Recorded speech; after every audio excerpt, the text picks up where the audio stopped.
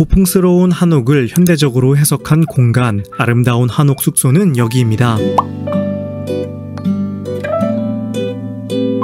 때 있잖아요. 평소와 색다른 여행을 하고 싶을 때 조용하고 아름다운 공간에서 차도 한잔하고 반신욕도 하면서 힐링을 하고 싶은 그런 마음. 오늘 소개할 숙소는 그런 마음을 잘 충족시켜줄 수 있는 곳입니다. 여기는 안동에 위치한 소현정입니다. 저는 한옥 숙소를 참 좋아하는데요. 왜냐하면 기와지붕과 처마가 마당을 아늑하게 감싸고 햇살이 들어오는 마당을 바라만 보아도 기분이 좋아지기 때문입니다. 이곳이 바로 그런 공간입니다. 객실은 하나뿐인 독채 한옥 숙소. 오늘의 숙소가 마음에 든다면 미리 저장해두는 것을 추천드려요. 안동의 중심가에 위치한 이곳은 주차는 숙소 바로 앞에 할 수 있어요. 주차를 하고 들어가면 이런 모습을 마주하게 됩니다. 중앙에는 마당이 있고 마당을 둘러싼 니은자 형태의 한옥 건물, 건물이 마당을 안고 있는 형태예요. 조경이 잘 된 마당에는 조격탕과 테이블이 놓여 있죠. 객실 안으로 들어가면 평상마루가 있습니다. 이런 공간이 편리하기도 하지만 정말 아름답지 않나요? 살짝 들어오는 햇살을 보며 평상에 앉아 도란도란 대화도 나누고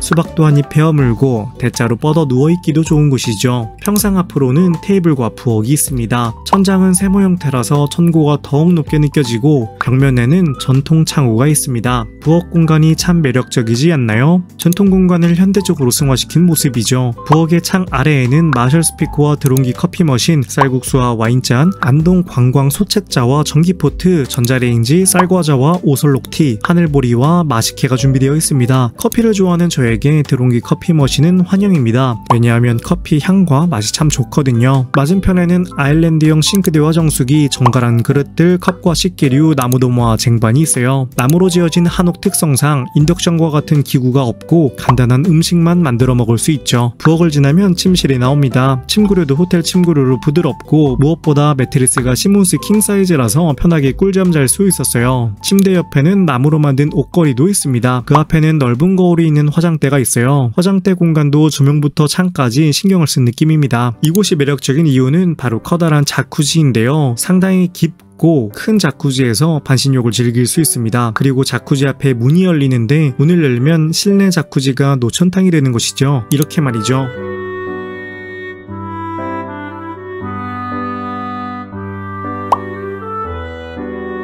자쿠지는 저녁에 이용을 했는데 테이블로 활용할 수 있는 나무판이 있어서 무알콜 맥주를 먹으며 반신욕을 즐겼습니다. 밖에 작은 정원을 보며 뜨끈뜨끈한 물에서 반신욕을 하니 절로 힐링이 되었어요. 안동은 문화관광지가 참 많은 곳인데요. 특히 밤에 가야 하는 곳이 있습니다. 바로 월영교인데요. 숙소와 월영교가 가까운 거리라 바로 다녀왔습니다. 한 부부의 사랑 이야기가 배경인 이 다리, 다리 앞으로는 문보트도 떠다니고 있었어요.